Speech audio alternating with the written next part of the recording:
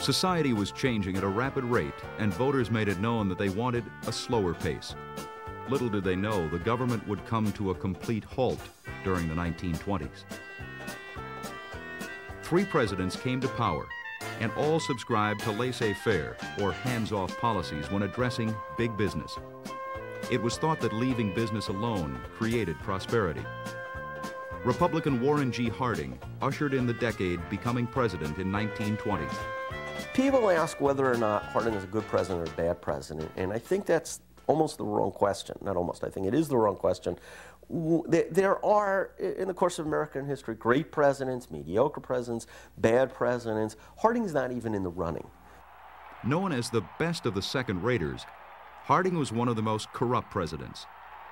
His card-playing friends, referred to as the poker cabinet, often use their friendship with the president to fill their pockets with taxpayers' money. He, he puts in charge of the VA a guy he met um, on a trip to Hawaii, and he liked the guy. So he said, "What would you like to do?" And the VA is booming. I mean, this is right after the First World War. Yeah, I'll take the VA. You got it. No big deal. Turns out the guy's a former Army deserter, but you know what the hell. The biggest controversy to come out of the Harding administration was the Teapot Dome scandal, where Secretary of Interior Albert Fall leased government oil fields to wealthy friends. This branded Fall with the distinction of being the first cabinet member in history to go to prison for committing a felony.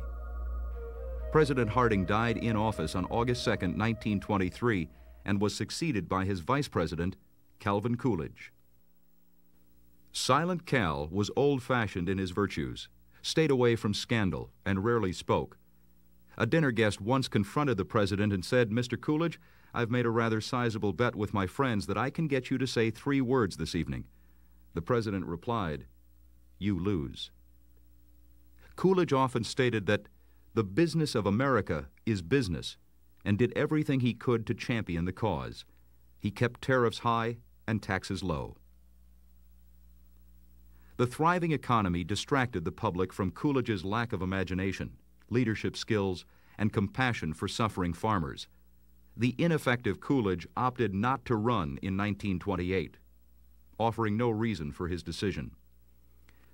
Humorist Will Rogers jibed, the president retired from office a hero, not only because he hadn't done anything, but because he had done it better than anyone else. For most Americans, a two-bit president was fine as long as the economy stayed strong. During Coolidge's reign, industrial production, corporate profits, and personal income rose to record levels. A new middle class arose from the influx of white-collar job openings.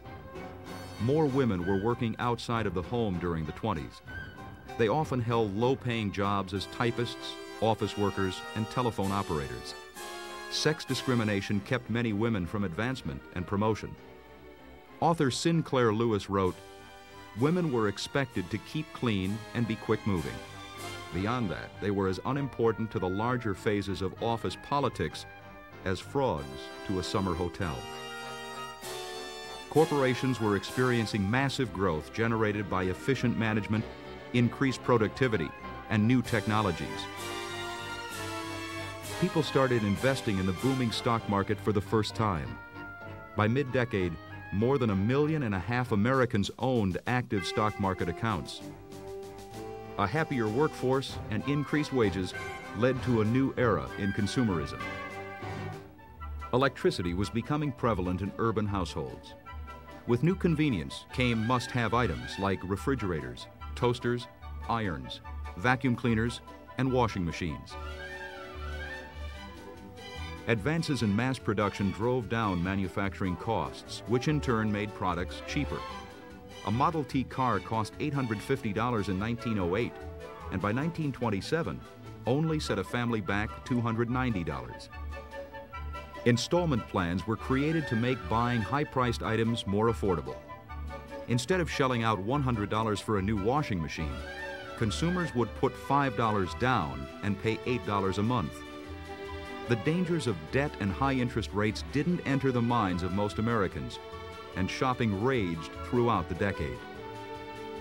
Advertising became part of the fabric of American culture as ads dominated newspapers and magazines. Sex appeal, social snobbery, outrageous claims, and fabricated scientific studies convinced consumers to buy more. And Listerine ads would make it absolutely clear, and I'm not trying to pick on them because I, I can do this for shirts, I can do this for just a variety of products, that if you don't buy this product, you, you're, everybody's going to just shun you. I, I mean, you're just going to be a pariah. So there was this incredible catalog of things you now had to buy if you wanted to be middle class. Retail stores began to sprout up with increasing demand for products. Standard Oil went from 12 gas stations in 1920 to over 1,000 by 1929. The A&P grocery store chain boasted over 15,000 stores nationwide by decade's end.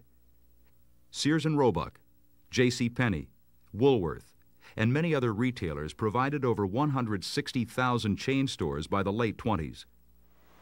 Quality of life was on the upswing in America.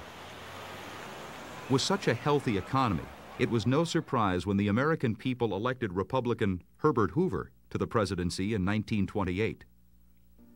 An American success story, Herbert Hoover was born to an Iowa farmer and orphaned at age 10.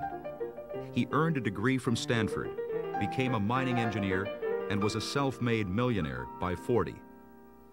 As Secretary of Commerce under the previous two presidents, Hoover supported better nutrition for children, eight-hour workdays, and helped create the Pollution Act of 1924, the first attempt to control coastline oil pollution. Like his two predecessors, Hoover dedicated his administration to promoting business interests while for the most part ignoring the desperate state of America's heartland. With the war's closure,